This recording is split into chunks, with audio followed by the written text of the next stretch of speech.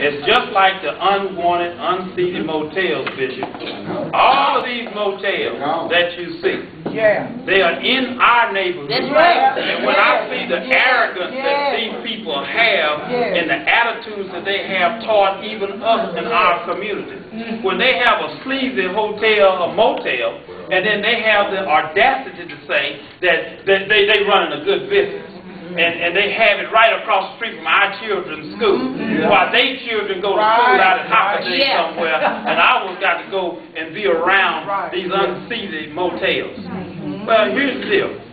We're gonna get rid of them. Amen. And we're not just starting to get rid of them, we have gotten rid of some. We